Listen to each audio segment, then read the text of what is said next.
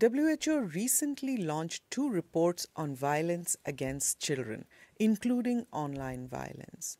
We are going to talk today about how to recognize the signs of violence and how to prevent it.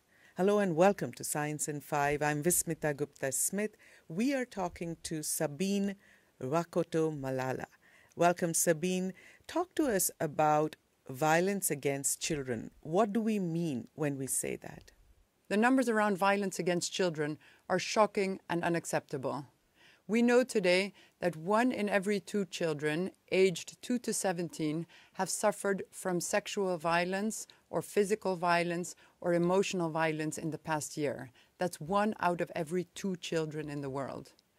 We also know that one out of five girls is sexually abused before the age of 18, and one out of 13 boys is sexually abused before the age of 18. Again, these numbers are shocking and unacceptable.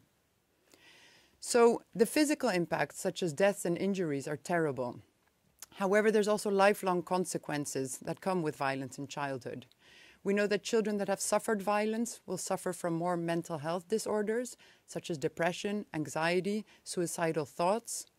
These children also are more at risk of engaging in uh, risky behaviors, such as smoking, alcohol consumption, drug consumption, unsafe sex. These in turn lead to non-communicable diseases, such as cancers and cardiovascular diseases, and we also know that children that suffered violence in childhood are more likely to become perpetrators of violence later in life. Sabine, can you talk to us about online violence? So online violence is a real problem. And when we look at online violence, we're really looking at cyberbullying and sexual violence online. There are a number of important initiatives today collecting data about this global online problem. However, there are two important myths that need to be clarified. The first one is that violence is committed by strangers, otherwise known as stranger danger. In fact, we know that most of the online cyberbullying is happening by peers, acquaintances, family members. So these are the situations that we have to look out for. The second myth that needs to be clarified is that online violence is a problem on its own. In fact, in most cases, it's linked to face-to-face -face violence happening in real life. So for example, cyberbullying in three quarters of the cases is also linked to bullying happening in the playground or in the community.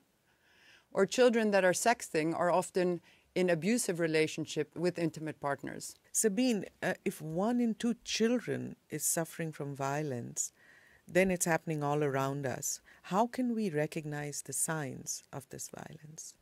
Common signs that may indicate child abuse include, for example, unexplained injuries, fractures, or burns, children's behavior that changes, for example, becoming very withdrawn and socially isolated, or becoming very aggressive and violent.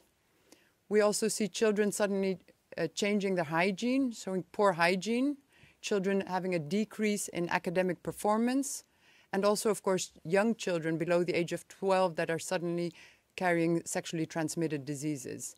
It's important to note that these signs on their own are not definite signs of child abuse. However, if you do have these concerns, please do report them to health workers, social workers, or your school workers.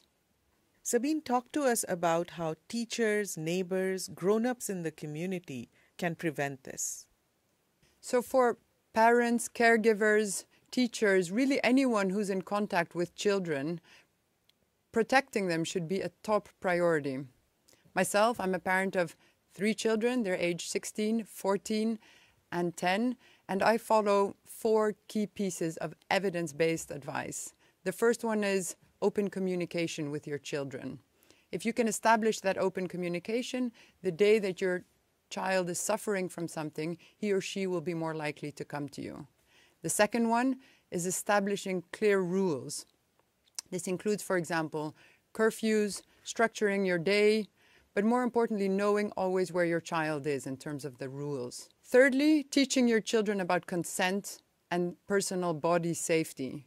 This is important at all ages, four years old, eight years old, 10 years old, 18 years old. And lastly, actively participating in your child's life. Again, if you're involved in your child's life, you will know when he or she is changing his or her behavior and is possibly showing signs of trouble. So, to summarize, the way we can keep our children safe is through education, vigilance, communication, and having a strong relationship with them. Thank you very much, Sabine. That was Science in 5 today. Until next time, then. Bye bye.